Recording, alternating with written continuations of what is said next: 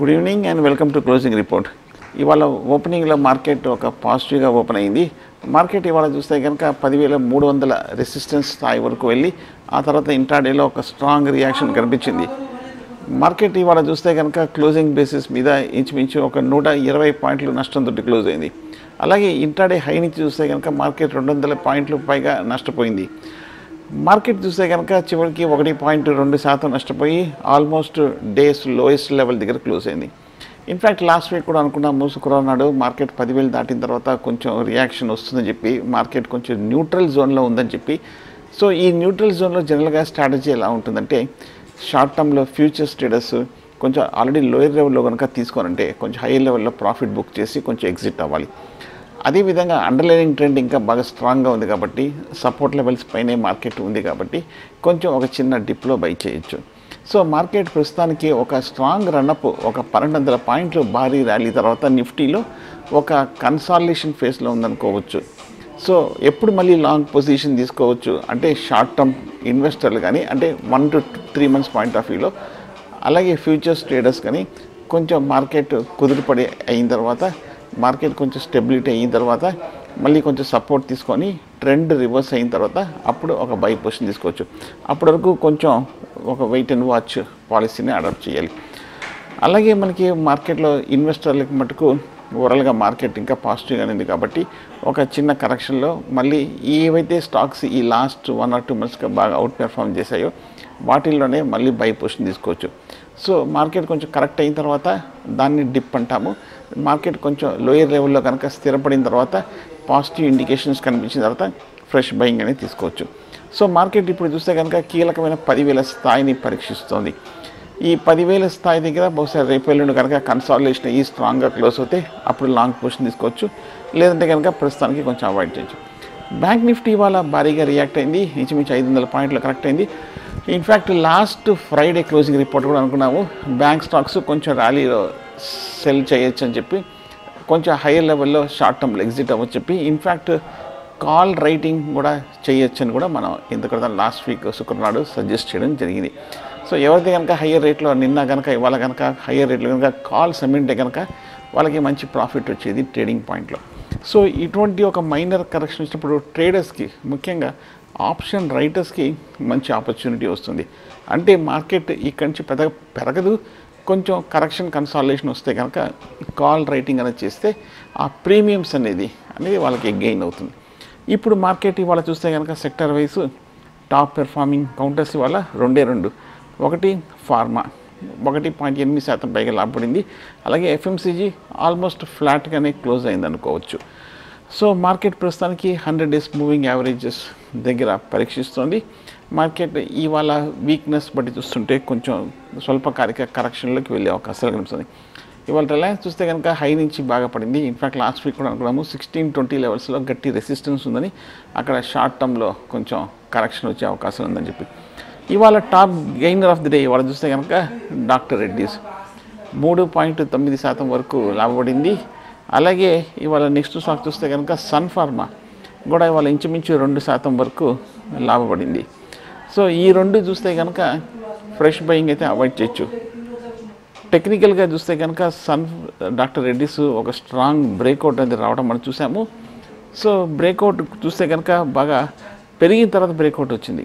But ఓవరాల్గా చూస్తే కనుక సన్ ఫార్మా ఇప్పుడు కూడా ట్రెండ్ చూస్తుంటే షార్ట్ టర్మ్లో ఫర్దర్గా లాంగ్ పొజిషన్స్ని కూడా కన్సిడర్ చేయొచ్చు అనిపిస్తుంది.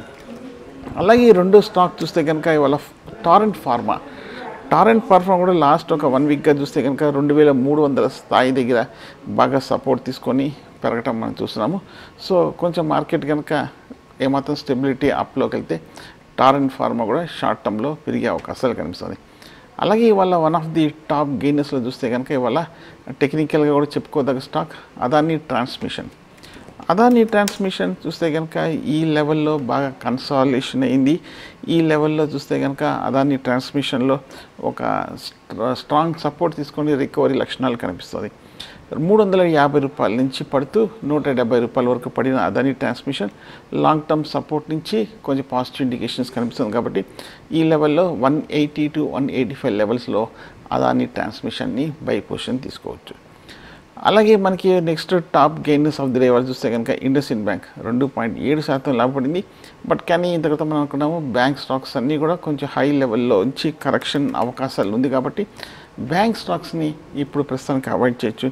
కొంచెం కరెక్షన్ వచ్చిన తర్వాత బై చేయొచ్చు. అలాగే ఒకసారి మనం ఇవాళ top gainers of the day ఇవాళ చూస్తే కనుక ఇవాళ కొంచెం చిన్న స్టాక్స్లో డిష్మన్ కార్బో డిష్మన్ కార్బో గురించి కూడా మనం అనుకున్నాము. నిన్ననే ఫండమెంటల్గాను టెక్నికల్గా పాజిటివ్గా ఉందని చెప్పి. సో ఇవాళ నూట ఒక్క రూపాయలు పదిహేడున్నర శాతం పెరిగింది డిష్మన్ కార్బో. సో డిష్మన్ కార్బో ఓవరాల్గా చూస్తే కనుక టెక్నికల్గా ఈ లెవెల్లో కొంచెం సపోర్ట్ కనిపిస్తుంది. ఇంకా కొంచెం షార్ట్ టర్మ్లో చూస్తే కనుక అప్ ట్రెండ్లోకి వెళ్ళే అవకాశాలు కనిపిస్తుంది. అలాగే another top gainer of the day వాళ్ళు చూస్తే కనుక తేజాస్ నెట్వర్క్ తేజాస్ నెట్వర్క్ చూస్తే ఈ మధ్యకాలంలో ముప్పై రూపాయల నుంచి యాభై రూపాయల వరకు పెరిగింది. ప్రస్తుతానికి హై లెవెల్లో కొంచెం కరెక్షన్ వచ్చే అవకాశాలు కనిపిస్తుంది. సో అలాగే ఇవాళ ఐడియా సెల్యులర్. ఈ స్టాక్ గురించి కూడా చాలామంది అడగటం మనం చూస్తున్నాము. ఐడియాలో ఒక మల్టీ బ్యాగర్ అయ్యే అవకాశాలు ఉందా అన్న అవకాశాలు కూడా చాలామంది అడగటం మనం చూస్తున్నాం. సో ఐడియా నేను కూడా చెప్పుకోవడం జరిగింది. ప్రస్తుతానికి ఈ మధ్యకాలంలో బాగా పెరిగింది కాబట్టి సో ఫ్రెష్ బయింగ్ అయితే అవాయిడ్ చేయమని చెప్పి ఉన్నాయంటే కనుక హై లెవెల్లో కొంచెం ప్రాఫిట్ కూడా బుక్ చేయొచ్చు కానీ ఫ్రెష్ బయింగ్ అయితే అవాయిడ్ చేయొచ్చు ఐ- ఐడియాలో. And next top gainer of the day ఇవాళ చూస్తే కనుక అల్ట్రాటెక్సమ్ సిమెంట్ కొంచెం పెరిగింది అలాగే ఫార్మాలో సిప్లా పెరిగింది. అలాగే ఐషర్ మోడల్స్ పెరిగింది. సో మిగతా అన్నీ చూస్తే కనుక కొంచెం మిక్సెడ్ సిగ్నల్స్ కనిపిస్తున్నాయి. అక్కడక్కడ కొంచెం స్టాక్ స్పెసిఫిక్ అప్ ట్రెండ్ మనం చూస్తున్నాం. అందరు ఇవాళ top gain of the day చూస్తే కనుక BHEL Bharat Heavy Electricals Bharat Heavy Electrical చూస్తే కనుక ఓవరాల్గా ప్రైస్ చూస్తే కొంచెం అట్రాక్టివ్ లెవెల్లో ఉన్నట్టు కనిపిస్తోంది. ఈ స్టాక్ ముప్పై రూపాయల్లో ట్రేడ్ అవుతుంది ఈ PSU company so Bharat heavy ఎలక్ట్రికల్స్ని కూడా మైట్ బి ఒక కాంట్రేరియన్ బిట్గా బై చేయొచ్చు. అలాగే నెక్స్ట్ స్టాక్ చూస్తే కనుక అడ్వాన్స్ ఎంజైమ్ టెక్నాలజీస్ నూట డెబ్బై రూపాయల్లో క్లోజ్ అయింది అడ్వాన్స్ ఎంజైమ్ బేసికల్గా ఇది ఫార్మాకి రిలేటెడ్ స్టాక్ అడ్వాన్స్ ఎంజైమ్ ఈ స్టాక్ చూస్తే కనుక ఈ మధ్యకాలంలో బాగా పెరిగింది. కానీ ప్రస్తుతం one ninety one ninety five దగ్గర గట్టి రెసిస్టెన్స్ ఉంది. ఈ లెవెల్లో దాటాలంటే కొంచెం సమయం పడుతుంది. కొంచెం చిన్న స్టాక్స్లో చూస్తే కనుక ఇవాళ ఆర్బిఎల్ బ్యాంక్ నూట నలభై రూపాయల దగ్గర స్ట్రాంగ్గా క్లోజ్ అయింది ఇంచుమించు ఒక ఆరు పర్సెంట్ పెరిగింది.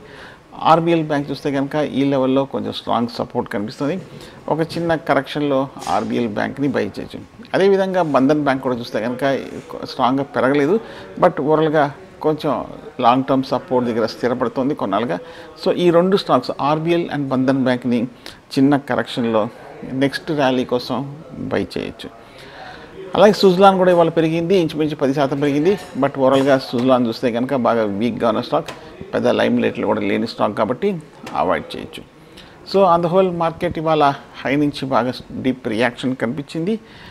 అండ్ బ్యాంక్ స్టాక్స్లో కూడా బాగా రియాక్షన్ చూసాము హై నుంచి. ప్రస్తుతానికి పదివేల నలభై ఆరులో క్లోజ్ అయిన నిఫ్టీకి తొమ్మిది వేల తొమ్మిది వందల దగ్గర స్ట్రాంగ్ సపోర్ట్ ఉంది. ఎందుకంటే లాస్ట్ వీక్లో ఒక బాటమ్ ఒక మైనర్ లో ఏర్పడింది తొమ్మిది వేల తొమ్మిది వందలు. అక్కడ వరకు ఒక నార్మల్ కనెక్షన్ అనుకోవచ్చు. ఒకవేళ తొమ్మిది వేల తొమ్మిది వందలు కనుక బ్రేక్ అయ్యి దాని కింద క్లోజ్ అయితే షార్ట్ టర్మ్ కరెక్షన్ మరింత కంటిన్యూ అయ్యే అవకాశాలు కనిపిస్తాయి బట్ ఏదైనప్పటికీ మార్కెట్ గత కొన్ని రోజులుగా భారీ ర్యాలీ తర్వాత ఒక technical over soul bought position నుంచి ఈ లెవెల్లో కొంచెం షార్ట్ టర్మ్ కన్సాలిడేషన్ వచ్చే అవకాశం ఉంది. సో బహుశా నేను కూడా శుక్రవారం వరకు ఈ సైడ్ వేస్ కన్సాలిడేషన్ కంటిన్యూ అయ్యే అవకాశం ఉంది. శుక్రవారం కానీ ఒక క్లారిటీ వచ్చే అవకాశం లేదు. సో మార్కెట్ ప్రస్తుతానికి ఒక కన్సాలిడేషన్ ఫేజ్లో ఉందనుకోవచ్చు. కాబట్టి ఫ్రెష్ లాంగ్స్ అయితే అవాయిడ్ చేయొచ్చు. అండ్ షార్ట్ పొజిషన్స్ తీసుకుంటే ఖచ్చితంగా పదివేల నూట యాభై లేదంటే పదివేల రెండు వందల పైన స్ట్రిక్ట్ స్టాప్ లాస్ అనేది పెట్టుకోవాలి. థ్యాంక్ యూ వెరీ మచ్ ఇది ఈరోజు క్లోజింగ్ రిపోర్ట్